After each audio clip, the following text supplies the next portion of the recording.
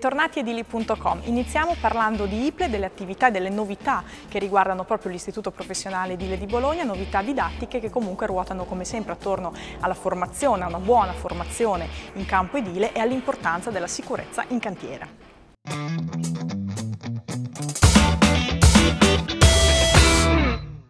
Purtroppo in questi ultimi giorni abbiamo assistito a delle morti sul lavoro che ancora di più ci convincono che il nostro lavoro deve avere come priorità eh, sempre di più quella di formare eh, sia le maestranze, quindi sia i lavoratori presenti che quelli futuri eh, al tema della sicurezza. Noi sappiamo che la sicurezza è, ha a che fare con concetti che sono legati al tema dell'obbligatorietà, delle capacità tecniche, della tecnologia, ma che prima di tutto è un tema collegato alla cultura, al saper produrre una cultura della sicurezza, al generare una sensibilità nei lavoratori sulla sicurezza. Tutto questo è possibile con l'attività che noi svolgiamo ormai da tanti anni perché in una qualche misura la formazione riesce a velocizzare i processi anche del concetto di rispetto per intenderci, che è un rispetto che quando si lavora deve essere verso se stessi e verso gli altri e verso l'ambiente. Tutto questo viene sviluppato attraverso attività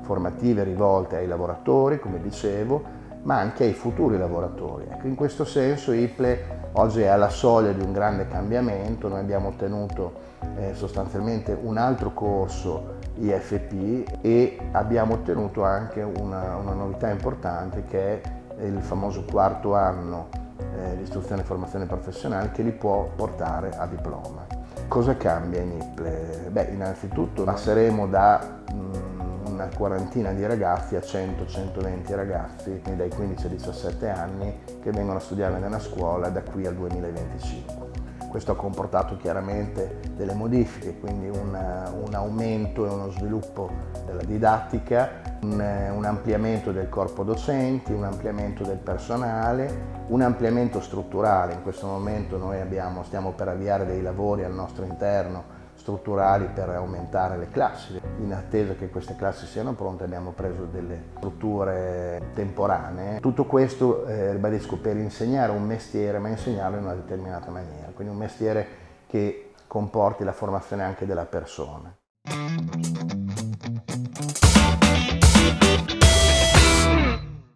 Parliamo adesso di un programma di prevenzione del rischio specificatamente per le cadute dall'alto in cantiere che vede coinvolto l'Istituto Professionale Edile di Bologna e altri enti di formazione promosso dalla Regione Emilia-Romagna. Vediamo insieme di che cosa si tratta nel dettaglio, ascoltiamo alcune voci di chi è direttamente coinvolto nel progetto.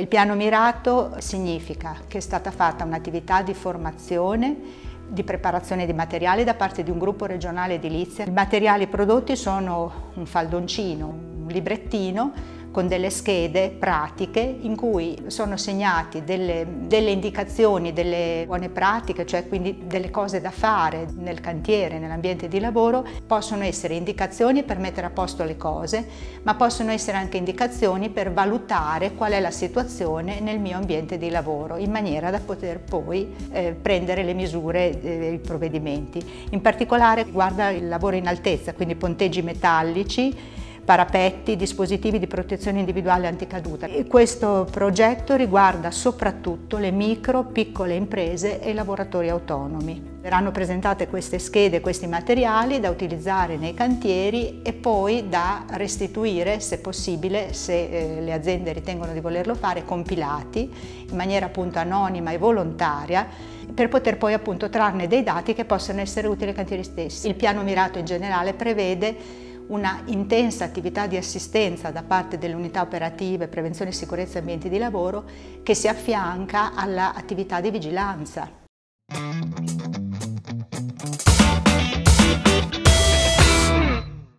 Quello che ad oggi ancora non è ben chiaro per tutti, tutte le persone, tutti i lavoratori che operano all'interno di un cantiere sono appunto le figure della sicurezza del cantiere stesso, il, eh, banalmente la committenza, banalmente il coordinatore dei lavori, banalmente ehm, appunto responsabili dei lavori ma anche gli addetti al, alle emergenze, quindi gli addetti al primo soccorso e la, la, la squadra antincendio. Non vi è consapevolezza di chi è presente in cantiere e chi è incaricato in termini di sicurezza di garantire, di attuare, di eh, appunto realizzare un'azione eh, in termini di sicurezza efficace. La sicurezza non, non si realizza da soli, la sicurezza sì, sì, è frutto di collaborazione di tutti noi.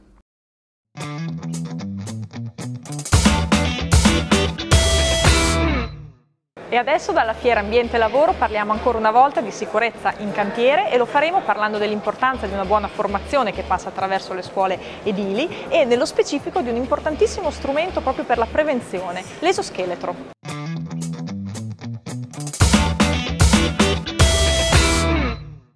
In un contesto come questo, di una fiera che si occupa della sicurezza sul lavoro, ovviamente sono presenti tutti i settori produttivi, noi siamo degli edili e in qualche modo le nostre scuole hanno il compito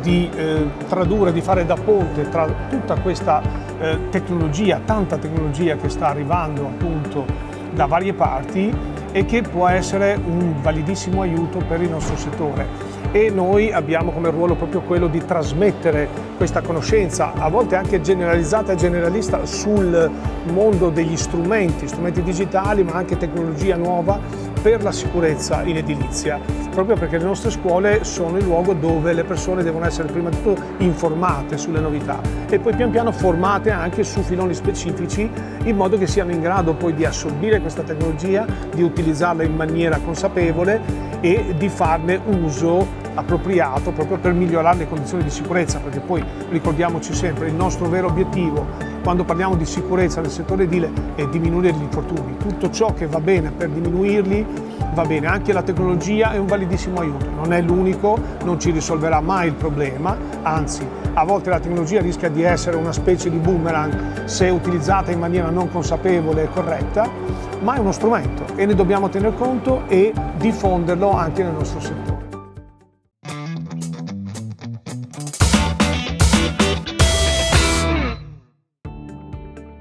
Scuole edili dopo la fusione con gli enti, con i CTP, quindi anche sulla sicurezza, hanno due missioni fondamentali, una rimane quella della sicurezza e della consulenza alle imprese per tutto quello che concerne appunto eh, il settore degli infortuni e delle malattie professionali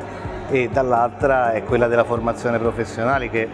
diciamo, è orientata su due punti, una la parte operaia in cui abbiamo nuovi prodotti e nuove tipologie e quindi abbiamo bisogno di collegare l'industria della produzione all'industria dell'installazione e dall'altra siamo eh, rivolti ai tecnici, quindi eh, rivolti agli ITS e quindi alla, alla formazione superiore post diploma. Questi diciamo, sono i due ambiti sulla formazione importanti che in qualche modo le scuole in Italia dovrebbero perseguire. L'importanza della scuola edili per la sicurezza è fondamentale, noi siamo l'unico settore che ha attinto alle proprie risorse perché ha capito che c'era un problema in più rispetto ad altri settori. È una tradizione che va mantenuta, va incrementata e soprattutto va fatta conoscere a tutte le imprese impegnate nel settore. Secondo noi un'impresa curata dal settore eh, bilaterale è un'impresa molto più sicura di quella che è fuori dal sistema bilaterale. Sia sulla formazione che sulla sicurezza abbiamo oggi a disposizione tanta tecnologia dobbiamo eh, riportarla all'interno delle nostre scuole, siano i simulatori, la realtà aumentata, progetti su cui le nostre scuole sono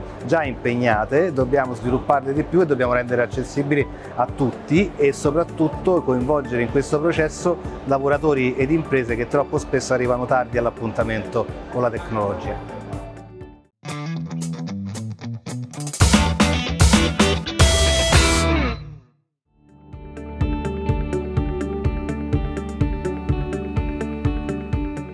Edilizia, una delle problematiche principali che ci sono sono proprio le malattie muscoloscheletriche che sono dovute appunto a sollevare carichi. Una cosa banale finché vogliamo, ma chi lo prova e lo fa tutti i giorni in cantiere sa cosa significa. Tirare su centinaia di sacchi di cemento, questi sistemi sono sempre più raffinati, questo è appunto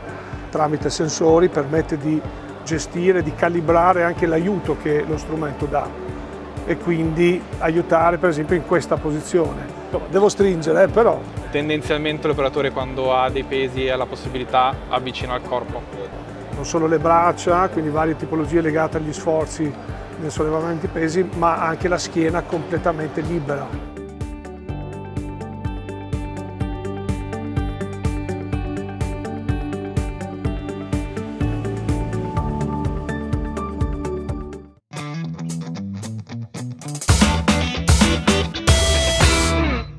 Vi ringrazio per l'attenzione, come sempre vi do appuntamento, prima ancora che alla nuova puntata di edili.com, sulle pagine social dell'Istituto Professionale Edile di Bologna, dove troverete sempre novità relative ai corsi di aggiornamento e formazione promossi appunto dall'ente e anche in generale sul mondo dell'edilizia. Vi saluto e vi do appuntamento alla prossima puntata di edili.com.